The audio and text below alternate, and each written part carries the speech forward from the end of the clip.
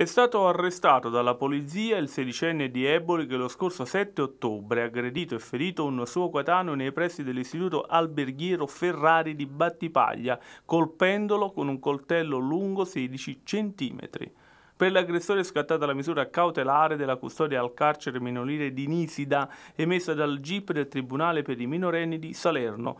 Le indagini già il 7 ottobre avevano consentito di trovare in un tombino lungo la strada il coltello usato per l'aggressione. Erano state inoltre raccolte numerose e concordanti dichiarazioni dagli stessi compagni di classe di entrambi, nonché molti messaggi dal social network Instagram da cui si deduceva da tempo la premeditazione dell'aggressione e la successiva rivendicazione con quanto accaduto. L'accoltellatore è stato quindi arrestato e sottoposto alla misura cautelare della custodia al carcere minorile di Nisida a disposizione dell'autorità giudiziaria minorile.